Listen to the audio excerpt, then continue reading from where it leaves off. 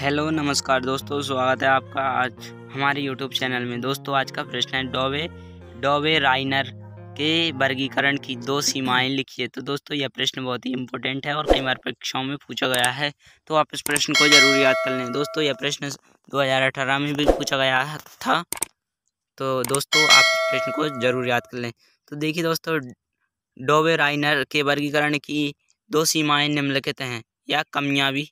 कुछ भी कह सकते हैं, किसी भी प्रकार से पूछा जा सकता है।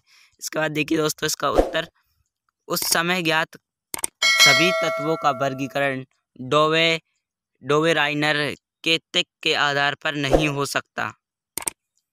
इसके बाद इसमें सभी, इसमें तत्वों का परमा, सॉरी, इसमें तत्वों को परमाणु द्रव्यमान के आरोही क्रम के ऊपर से नीचे की ओर व्यवस्थित किया गया है। तो दोस्तों, अगर आपको यह वीडियो अच्छी लगी हो, हेल्पफुल लगी हो तो वीडियो को लाइक करें और आपको कमेंट करके बताएँ कि आपको वीडियो कैसी लगी। साथ ही साथ हमारे चैनल को भी सब्सक्राइब कर लें और घंटी का बेल आइकन भी दबा दें, जिससे कि हम और भी वीडियोस बनाएँ, उनका नोटिफिकेशन आप तक पहुँच सके। दोस्तों, मिलते हैं आपसे नेक्स्ट वीडियो में। तब तक के लिए जय हिंद बंदे मातरम।